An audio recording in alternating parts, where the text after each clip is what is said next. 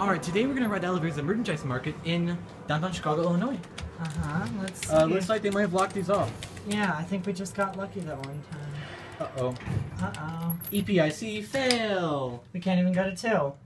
Yeah. See, nothing. Oh, we have to ride the local elevator up. Okay. Well, that's the end of that. That's it. EPIC fail! So that's it.